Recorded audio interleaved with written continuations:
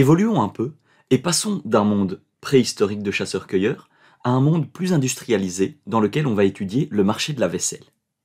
De nouveau, on va se limiter à parler de deux produits.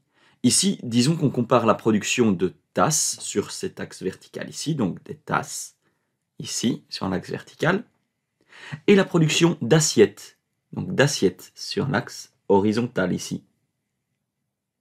Et on peut graduer ces axes, donc de 10, 20 ou 30 tasses, et 10, 20 ou 30 assiettes. Maintenant, imaginons un producteur, disons Denis. Si Denis décide de ne produire que des tasses, il en produira 30. Et dans ce cas-là, il produira donc 0 assiette. Par contre, s'il se concentre sur la production d'assiettes, il en produirait 10 et 0 tasses. Si on considère que sa courbe de possibilité de production est linéaire, elle ressemblerait donc à ceci.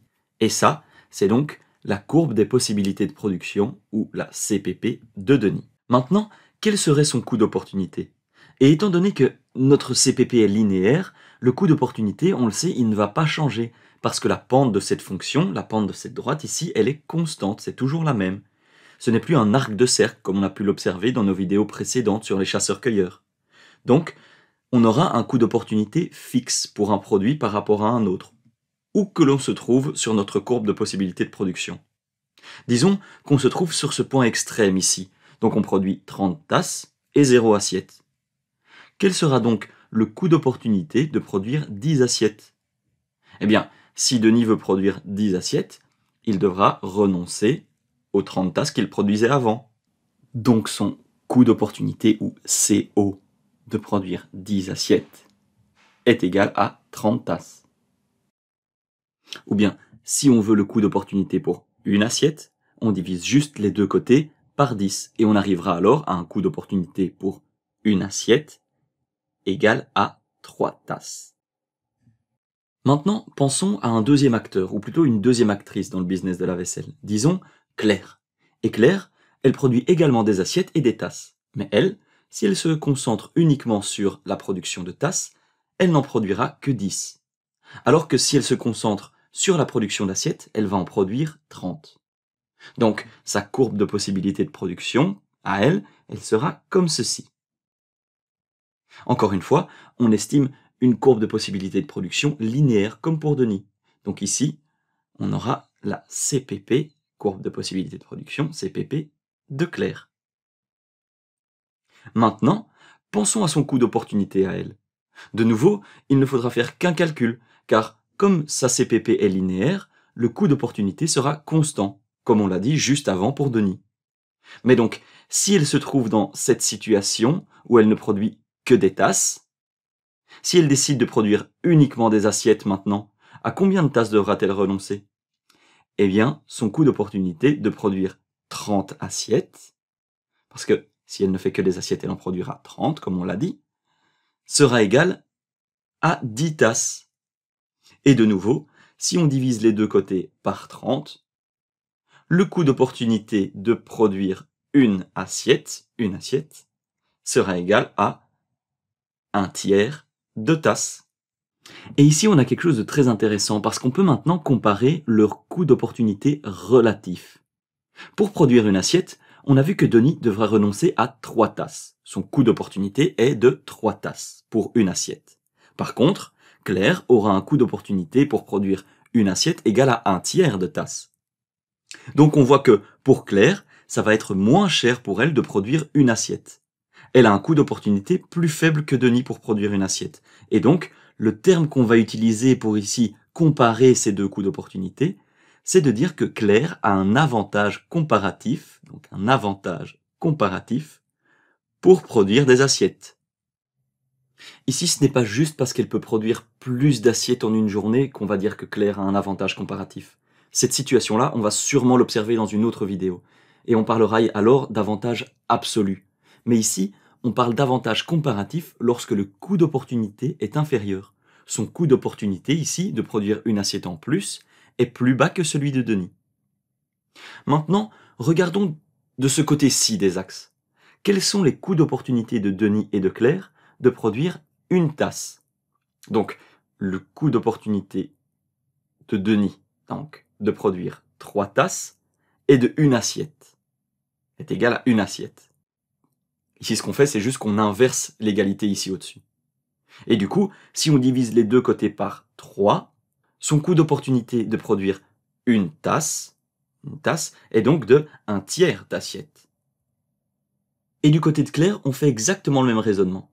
Donc pour elle, son coût d'opportunité CO, donc, de produire un tiers de tasse, est égal à une assiette, donc une assiette. On inverse donc juste ça ici. Et si on multiplie les deux côtés par 3, on n'aura que son coût d'opportunité pour produire une tasse, une tasse, égale 3 assiettes. 3 assiettes. Et donc ici, qui a le coût d'opportunité de production de tasses le plus bas?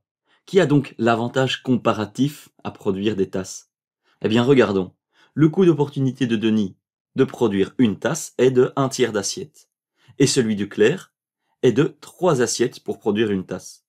On peut donc dire ici, un tiers, c'est plus petit que 3. Donc Denis a l'avantage comparatif pour produire des tasses.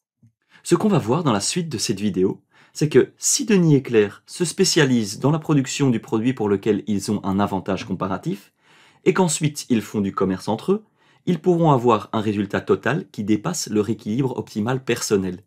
Donc ils pourront atteindre un point d'équilibre qui se trouve à droite de leur courbe de possibilité de production.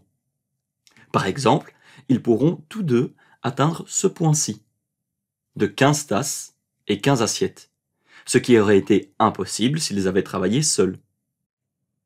Regardons maintenant comment est-ce qu'ils peuvent atteindre ce point. Eh bien, si chacun d'eux se spécialise dans son avantage comparatif, pour Denis, ça sera donc les tasses, et pour Claire, les assiettes. Si Denis se spécialise dans la production de tasses, ça veut dire qu'il en produira 30 tous les jours. De même, si Claire se spécialise dans la production d'assiettes, parce que c'est là qu'elle a un avantage comparatif, eh bien, elle en produira également 30 tous les jours. Eh bien, maintenant, on va faire une hypothèse. On va imaginer que, bien qu'ils soient tous les deux spécialisés, Denis et Claire veulent tout de même avoir une combinaison des deux produits. Tous les deux, ils veulent avoir des tasses et des assiettes. Ils vont donc produire uniquement un seul des deux produits dans lequel ils ont leur avantage comparatif, mais ils vont décider ensuite de faire du commerce, de faire un échange. Et ici, notre hypothèse, c'est qu'ils échangent une tasse pour une assiette. Donc ils échangent une tasse pour une assiette. Le prix d'une tasse est une assiette et le prix d'une assiette, c'est une tasse. Et donc ce prix, si ce prix du marché, il est avantageux pour tous les deux, parce que par exemple, Denis, s'il avait voulu produire une assiette, il aurait dû renoncer à trois tasses. Il aurait dû payer trois tasses. Et c'est vrai aussi, si Claire avait voulu produire une tasse, elle aurait dû payer trois assiettes, renoncer à trois assiettes. Et maintenant, grâce au prix de marché, ils peuvent tous deux payer un prix plus bas que leur coût d'opportunité. En se spécialisant dans le produit où ils ont l'avantage comparatif et ensuite en faisant du commerce, ils vont donc pouvoir trouver un équilibre sur la droite entre ces deux points. Et donc, pour en revenir à notre question, comment arriver à un point d'équilibre pour Denis et Claire de 15 tasses et de 15 assiettes?